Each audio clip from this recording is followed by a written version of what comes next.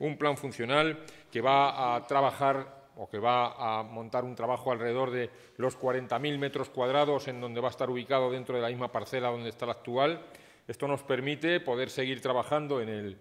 en el actual, en el antiguo y a la vez poder estar llevando la obra en esos 40.000 metros que tiene al lado la parcela en la que se va a construir el nuevo hospital. Un nuevo hospital que va a tener, como saben, más número de camas, va a tener más quirófanos,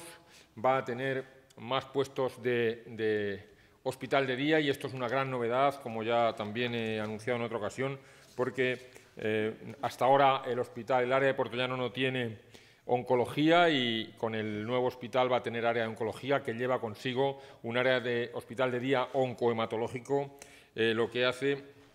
tener hasta un total de perdón, 50 puestos de hospital de día. En este momento el hospital de día tiene 14 puestos y el aumento es hasta 50 puestos.